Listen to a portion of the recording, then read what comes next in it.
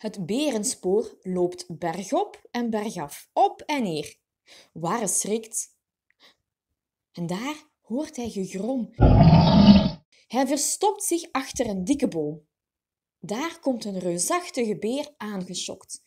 Warre probeert stilletjes weg te sluipen. En een takje kraakt onder zijn voet. De beer komt op hem afgelopen en de kleine ridder struikelt en tuimelt de heuvel verder af. Hij rolt en rolt en rolt. En de beer, die keert terug het bos in. Oef, zegt Warre. Amai, dat was spannend. En hij kijkt verbaasd rond. En dan wordt het stil en Warre opent de ogen. Mama loopt in zijn kamer en trekt de gordijnen open. Warre knippert tegen het felle licht. Oh, mama! Oh, oh, wat heb ik heerlijk geslapen. Ah, dat is goed, jongen. Kom, trek je kleren aan, dan kan je spelen en daarna gaan we naar de bibliotheek.